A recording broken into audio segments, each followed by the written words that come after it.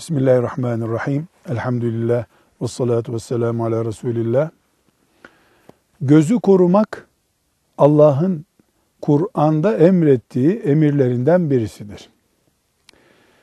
Gözü çomaktan ve çöpten koruduğumuz gibi onun haramı görmesini de engelliyor olmamız lazım.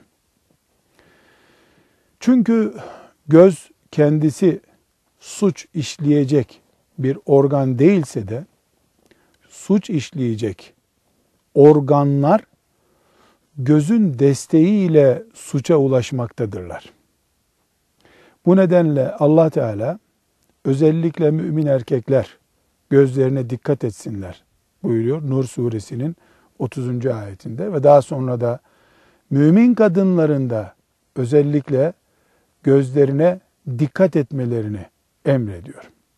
Buradaki dikkat etmek yani gözü sansürlü kullanmak ya da gözü tamamen serbest bırakmamak mümince bir hayatın gereklerinden olduğu anlaşılıyor. Çünkü nasıl Allah Kur'an'da namaz kılın diye emrediyorsa gözlerinize de dikkat edin emrini de o vermektedir.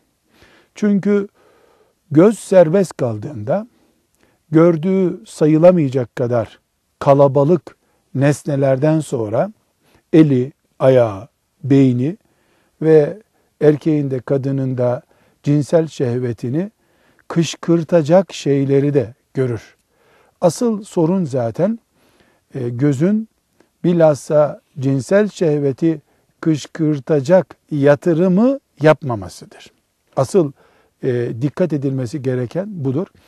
Bu nedenle e, erkeğin kadının avretine, kadının da erkeğin avretine, hatta e, erkeğin erkeğin avretine, kadının kadının avretine bakması haram kılınmıştır.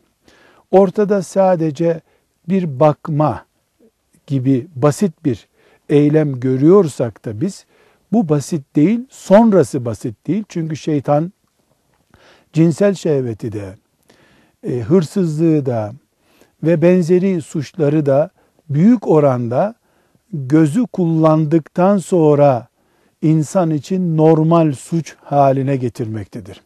Gözün tam serbest salındığı bir ortamda mesela e, yeni neslin, çocukların e, gözlerinin yüzde yüz serbest olması, her istediklerini sınırsız bir şekilde görebiliyor olmaları, o çocukların kendilerinde olmayan nimetlerin sahipleri önünde kompleksli yetişmelerini de sağlayacak önemli bir alt neden ya da önemli bir kışkırtıcı nedendir.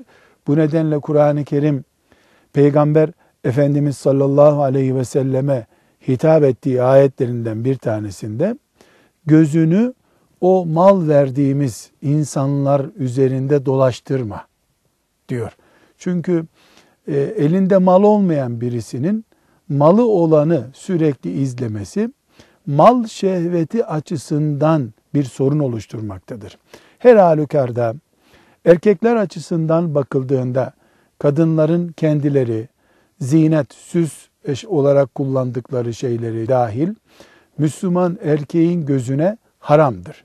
Aynı şey erkeğin avreti açısından kadına haramdır.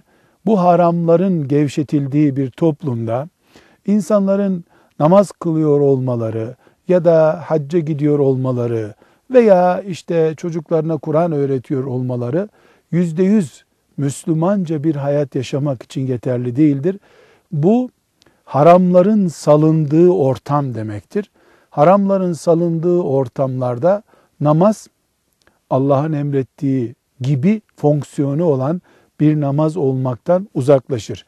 Bunun için Müslüman aileler, eğitimciler çocuklarını e, mikroptan ve hastalıktan korudukları gibi göz serbestliğine karşı da tedbir alarak yetiştirmek zorundadırlar. Büyükler yaşlılar için bile geçerli olan bu kural yeni yetişecek nesil için çok daha önemli bir kural olmaktadır. Halbuki biz şu anda göz bombardımanı, gözümüzün önündeki bombardımanı maddi manevi bizi afete sürükleyen bir bombardımanı yaşayarak yeni bir nesil yetiştiriyoruz. Bu hususta Müslümanlar becerebildikleri kadar tedbir almak zorundadırlar. Velhamdülillahi Rabbil Alemin.